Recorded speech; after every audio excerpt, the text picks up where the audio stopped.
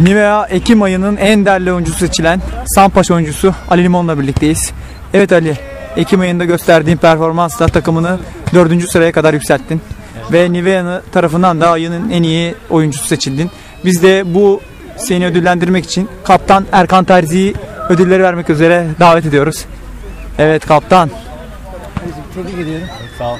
Başarıların devamını diliyorum. Evet. Ali bu ödülle ilgili neler düşünüyorsun? Duygularını alabilir miyiz?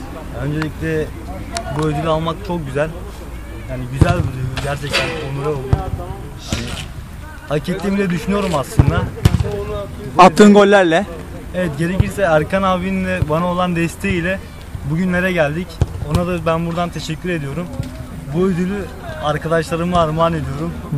Onlar adına alıyorum şu anda. Bak bakalım ödüllerin nelermiş. Bir Nivea'nın sana gönderdiği paketten çıkanlar. E, şampuan, deodorant, bu da tıraş jeli. Çok işime yarayacak. Teşekkür ediyorum. Biz de seni tebrik ediyoruz bu ödülden dolayı. Evet kaptan. Oyuncunun en değerli oyuncu seçildi.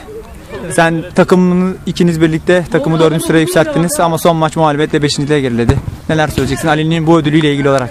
Vallahi öncelikle Ali'yi tebrik ediyorum. Ee, sağ olsun. Ee, bu ödülü hak ettiğini düşünüyorum. Hani bileğin hakkıyla, ayaklarının hakkıyla diyeyim hatta. Ee, bu ayın oyuncusu seçilmesi seçilmesinin yanı sıra benim takımımdan böyle bir oyuncunun çıkması beni daha daha çok onurlandırdı. Tabii haliyle. Sevindim. Teşekkür ederim kendisine. Bundan sonraki maçlarda da aynı başarı göstereceğine eminim. En son mağlubiyet aldık. O da bize bir nazarlık olsun diyelim. Ee, bundan sonraki maçlarda Ali'ye de başarılar diliyorum. Sampaş adına da Sampaş'ta üst sırada olacağını tahmin ediyorum.